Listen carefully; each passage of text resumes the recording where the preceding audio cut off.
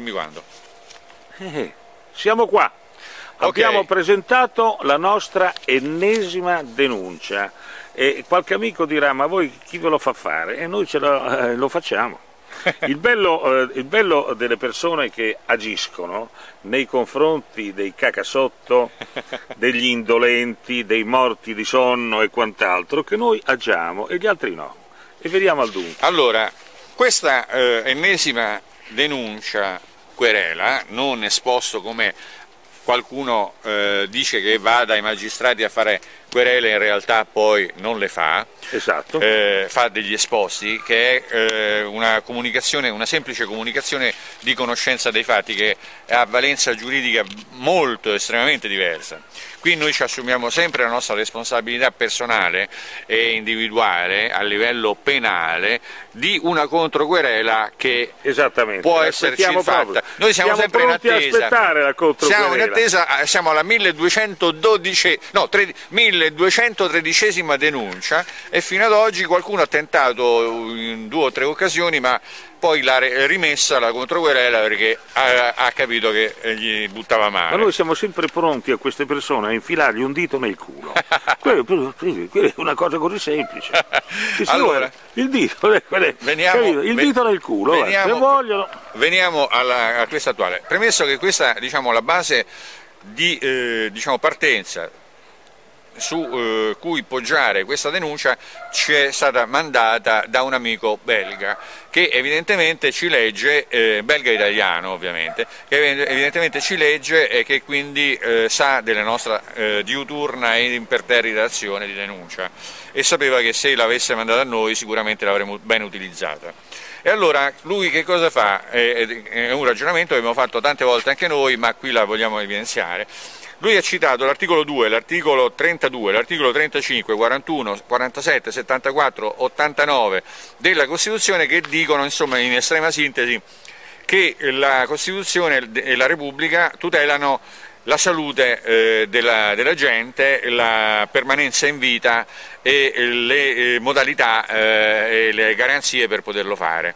E mh, fra le altre cose poi la 47 che è già stata citata nei, nei giorni scorsi nell'ultima querela che abbiamo fatto, eh, la Repubblica Italiana eh, incoraggia e tutela il risparmio in tutte le sue forme e disciplina, coordina e controlla l'esercizio del credito. Allora uno mi deve spiegare come fa la Repubblica e lo Stato italiano a controllare l'esercizio del credito e a, a coordinarlo e disciplinarlo se non detiene la maggioranza delle azioni della Banca d'Italia. A parte quello, in ogni caso diciamo che la Banca d'Italia dovrebbe avere, è nata con questa funzione e ricordiamocelo bene, dopo lo scandalo della Banca Romana. Romana, la quale Banca Romana né più né meno come hanno fatto i funzionari dell'ATAC, che è l'agenzia, è la stessa cosa. Esattamente. Che è la- l'agenzia- E metteva valore che- senza, senza avere supporto. hanno, hanno, eh, hanno eh, stampato Titoli di valore, hanno, hanno stampato sotto i di valore dei biglietti che può essere il biglietto dell'autobus, Sì, come il buono allora, del tesoro, eh, come la francobolli, banconota, i francobolli, e quant'altro. Eh, certo.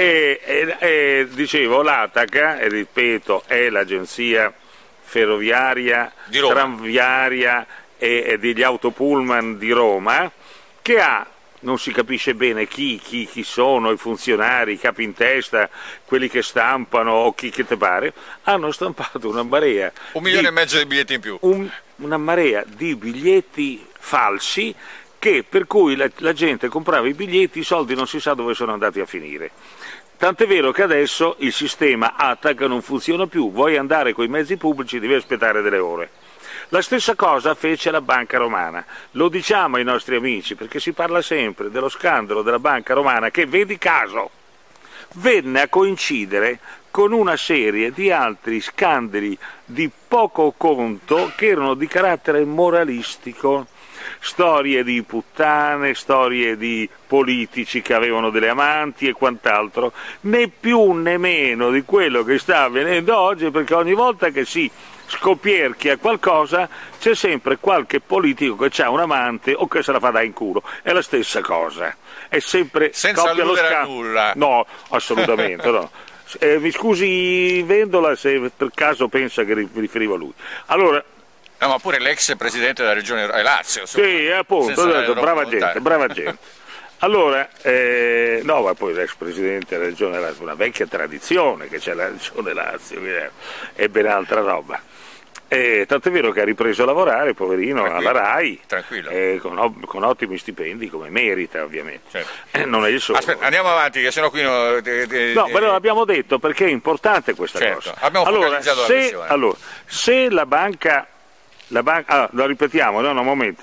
La, mh, lo scandalo della banca romana era che loro all'epoca non c'era soltanto una banca sei, erano sei le banche che di emissione emetteva denaro, certo. banconote.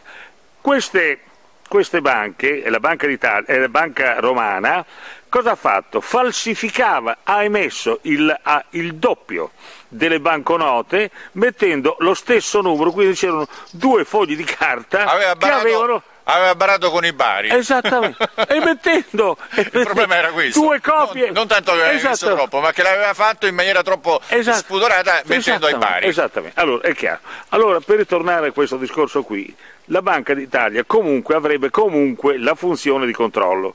Però siccome, come noi sappiamo, è stata privatizzata, Oramai e le ultime cose che sono state fatte sono stati i dettagli gli ultimi giorni, questa banca, essendo privatizzata ed essendo di proprietà delle, delle banche, banche che, dovevano essere controllate, non potrà più controllarle. No, non l'ha mai fatto. Sì, vabbè, d'accordo, diciamo tra, che oggi un fatto casi eclatanti tipo la banca Romagnolo, il credito sì. Romagnolo, sì, insomma, sì, vabbè, cose, roba ridere. Eh, allora, eh, che cosa dice eh, questa denuncia in sostanza? Prende diciamo, eh, di eh, petto diciamo, l'aspetto della salute pubblica e della salute individuale e del diritto alla vita individuale e eh, attraverso questo diritto anche il diritto a, della collettività a disporre dei vantaggi della permanenza in vita dell'individuo.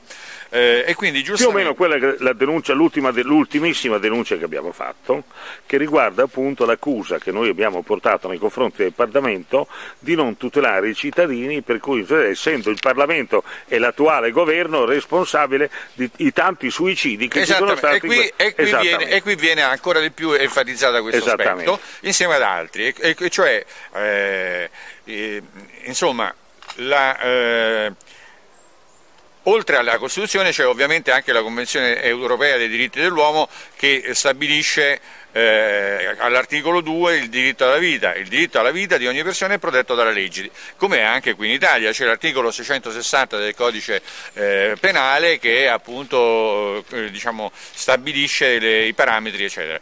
E eh, tant'è che noi, per esempio, eh, il proposito del diritto alla vita è un proposito eh, collettivo, eh, viene stabilito anche dal fatto, per esempio, che da noi non è ammessa l'eutanasia, che dovrebbe essere un fatto personale, se fosse solo personale uno potrebbe disporre del diritto di rimanere in vita o meno a secondo di quella che è la sua necessità, la sua intenzione. Invece viene condannato e chi si suicida in teoria dovrebbe essere anche condannato per suicidio, per il reato di suicidio. Eh, Infatti sono dei eh. reati che apparentemente hanno delle connotazioni di carattere morale, etico, ah, certo. religioso. Certo. Nella pratica serve per evitare che tanti omicidi vengono fatti passare per certo, suicidi. Certamente. E lo stesso discorso è quello che noi abbiamo ripreso Ma sopra, sotto anche l'aspetto antropologico, l'aspetto antropologico dell'eredità, della discendenza, eccetera. È, è tutto un marasma di è, eh, è, un cacervo proprio di interessi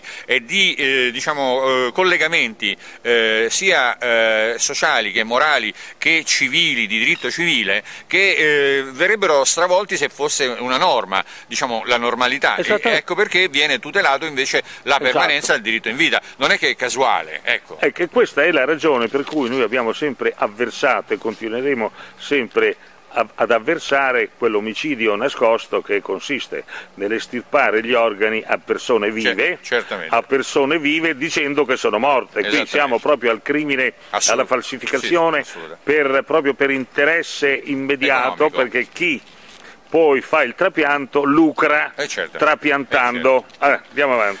E quindi eh, insomma, praticamente il, il, la Costituzione stabilisce, fra le altre cose, appunto, che eh, lo Stato ha il dovere di tutelare e di regolamentare il lavoro della sua attività economica e creditizia ed è tenuto a promuovere e sostenere questa attività, assicurandosi che il loro svolgimento non sia in contrasto con l'utilità sociale ed è questo il punto centrale del tema della denuncia attuale. Ce ne sono due o tre, come abbiamo già accennato, ma questo è quello centrale, e cioè che lo Stato ha l'obbligo di controllare affinché le attività economiche svolte all'interno del territorio siano di utilità sociale, siano moralmente valide. Ecco, non, non, si può fare i rapinatori ufficialmente, non si può fare l'usuraio ufficialmente. Invece qui abbiamo scoperto la, la prova che ufficialmente si può fare l'usuraio. Esattamente con tanto di eh, benestare e beneplacito della Banca d'Italia. La Banca d'Italia che è, rappresenta la cricca degli attuali governanti. Allora, tutti nati da lì. Tutti nati da lì. Appunto, distinguere la Banca d'Italia eh, da Prodi, eh, Ciampi, da, da, eh, eh, Draghi, da Letta e da tutta questa gente qui è assolutamente impossibile. Assurdo. Fanno parte tutti di questa elite di delinquenti integrali. Allora, questo è stato messo poi eh, anche agli atti, storicamente, quando è stato eh, approvato dal Parlamento il 12 luglio del 2011 attraverso l'emanazione della legge 106 conversione del decreto legge del 13 maggio del, 200, del 2011 numero 70 eh, che è intitolato prime disposizioni urgenti per l'economia e fra parentesi ci abbiamo messo delle banche perché solo delle banche è, è una legge del genere può essere a vantaggio insomma che cosa dice questa legge? Eh, dice eh, a proposito dell'articolo 8 appunto, della legge eh, intitolato Impresa e credito, eh, un titolo che uno legge e dice beh insomma eh, finalmente lo, lo, Stato, lo no? Stato, si interessa del sì. tutelare l'impresa e il credito, uno dice cazzo che bella legge, che bella iniziativa e invece articolo 2,4 legge del 7 marzo 96 108 eh, dice, no?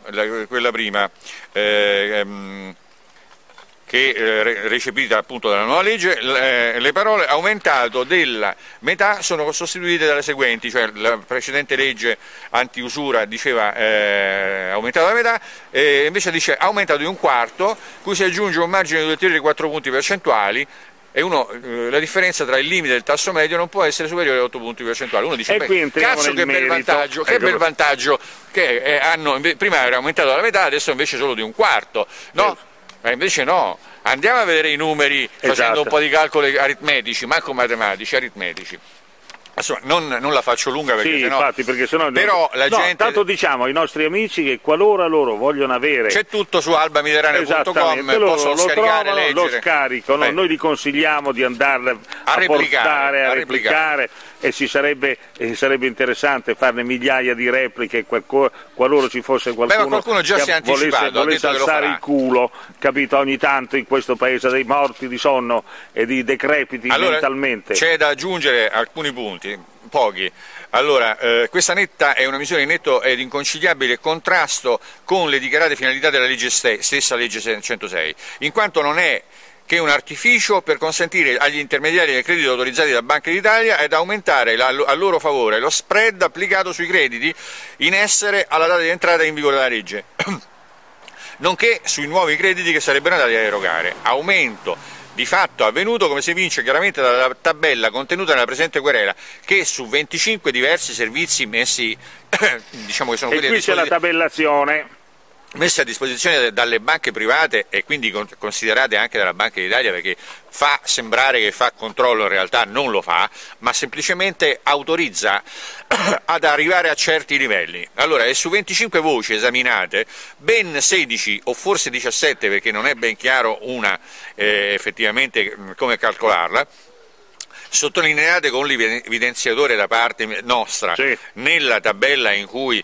eh, questo è stato fatto in, con l'evidenziatore verde sono in regime di interesse usurario, ma addirittura ce ne sono uh, alcune che sono oltre il limite usurario che già prevede allora, queste condizioni siccome la qua, legge prevede prevede che le, le, le, una volta dimostrato che l'interesse è usurario, il contratto non vale e il cittadino ha dei debiti no, non, non li so, deve pagare. No, non solo non deve avere pagare, deve avere ma deve avere il risarcimento dei danni. Esattamente, compreso il risarcimento dei danni. Invitiamo tutti i nostri amici a piantare una grana alle, alle loro, loro banche, per banche. i fideuram, per, per i fidi, per eh, le carte di credito, Agos, per i fidi al consumo, esatto. per, per, i fidi al consumo poi non ne parliamo, Esattamente. proprio una, una cosa spudorata, Certamente. Va oltre ogni, ogni, ogni morale. E quindi ecco, eh, insomma questa legge favorisce esclusivamente gli introiti degli operatori del credito e non è per nulla indirizzata e coordinata a specifici fini sociali, semmai ad avanteggiare